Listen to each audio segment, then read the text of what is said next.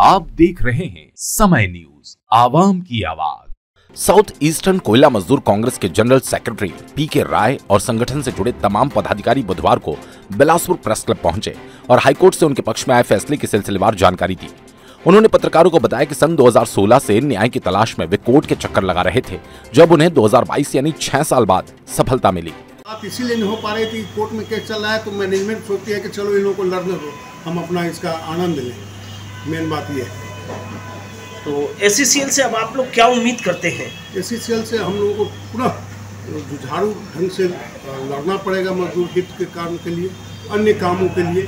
सामाजिक उत्तरदायित्व भी का काम होता है कोल इंडिया का क्योंकि इनका अपना सी एस आर वगैरह का जो फंड आता है जैसे आपके यहाँ रोड बनना लाइट लगना पुला बनाना ये सब रहता है बहुत तरह काम। इस सब के लिए हम लोग यहाँ से लड़ाई लड़ेंगे सेल का मजदूर हित कैसे प्रभावित हो रहा है? मजदूर हित इसलिए प्रभावित हो रहा है मजदूरों का काम नहीं हो रहा था। आप देखिएगा कि जो आदमी एक जनरल मजदूर में एक एक कैटेगरी में आज दस साल से था वो आज भी है। पंद्रह साल बीस साल हो गया बताइए क्या नियम है। अरे वो जनरल मजदूर में इतना जैसे काम किया तो जो काम वो कर रहा है अगर कैरियर का काम कर रहा है केबल मैन का काम कर रहा है डोजर ऑपरेटर का काम कर रहा है तो उसको वो डिग्नेशन बना देना चाहिए, लेकिन नहीं होता है। हमारे जो है सो सी एम पी एफ़ जो नियम है कि रिटायरमेंट अगर लोग होता है तो उसका सी एम पी एफ़ तीस दिन के अंदर आप पेमेंट कर दीजिए ग्रेचुटी तीस दिन के अंदर पेमेंट कर दीजिए, लेकिन वो नहीं होने वाला बिलासपुर से राकेश खरे की रिपोर्ट।